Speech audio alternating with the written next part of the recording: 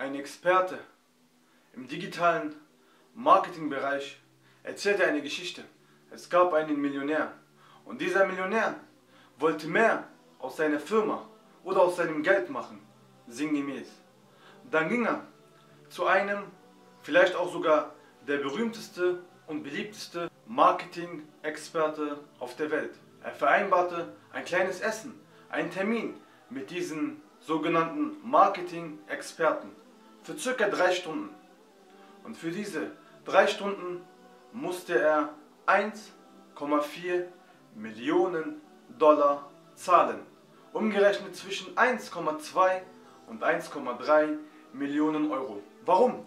Warum zahlt jemand umgerechnet 1,2 Millionen Euro, damit er etwas zu hören bekommt für drei Stunden, was ihm anbelangt? Wie gesagt, dieser Mann wollte mehr aus seinem Geld machen. Wir nehmen mal an, du gehst zu einem guten Steuerberater und möchtest dich beraten lassen.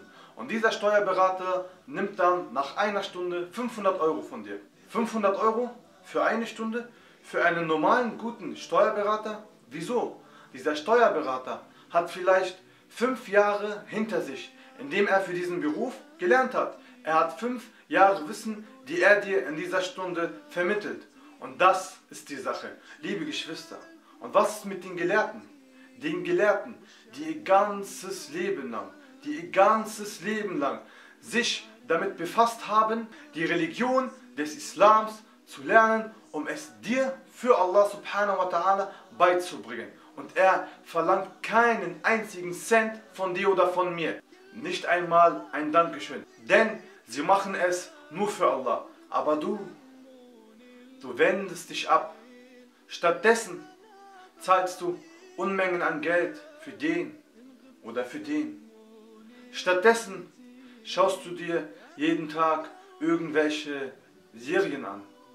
Stattdessen bist du mit etwas anderem beschäftigt als mit der Religion des Islams, als mit der Wahrheit.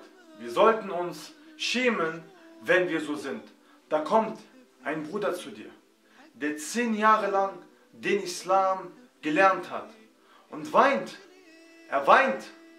Er hält dich fest. Er sagt, O Bruder, er sagt, O Bruder, bete, bevor es zu spät ist. Und der hat Angst um dich. Er sagt, O Schwester, Schwester, bedecke dich, bevor man dich zum ersten Mal bedeckt sieht, wenn, wenn du in dein Grab gelegt wirst. Er weint um uns. Aber was machen wir?